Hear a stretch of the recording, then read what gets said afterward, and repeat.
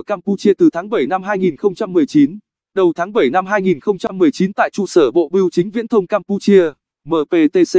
công ty Viettel Cambodia, với thương hiệu Medphone, và Telecom Cambodia, công ty viễn thông Campuchia thuộc Bộ Bưu chính Viễn thông Campuchia, đã diễn ra lễ ký biên bản ghi nhớ về việc hợp tác triển khai thử nghiệm 5G tại Campuchia. Theo đó hai bên sẽ bắt tay hợp tác triển khai 5G, địa điểm triển khai thử nghiệm tại Phnom Penh và sau đó sẽ mở rộng tới các tỉnh thành khác trên toàn quốc. Medphone đang nhanh chóng hoàn thiện việc lắp đặt và phát sóng các trạm 5G tại thủ đô Phnom Penh ngay trong tháng 7 năm 2019. Sau khi thực hiện cuộc gọi 5G đầu tiên tại Việt Nam vào tháng 5 năm 2019, Viettel tiếp tục đưa 5G đến Campuchia. Việc hợp tác giữa Viettel Cambodia và Telecom Cambodia giúp cho hai bên phát huy được thế mạnh của mỗi bên. Medphone là công ty hàng đầu về viễn thông và đã được cấp phép thử nghiệm mạng 5G trên giải tần số tốt nhất tại Campuchia. Trong khuôn khổ lễ ký kết, hai bên cam kết chia sẻ hạ tầng công nghệ thông tin và đầu tư vào các dịch vụ trong lĩnh vực viễn thông như chính phủ điện tử, y tế điện tử, giáo dục điện tử, nông nghiệp điện tử, thành phố thông minh, kết nối vạn vật. Năm 2018 nằm trong chiến lược phát triển hệ sinh thái của Viettel,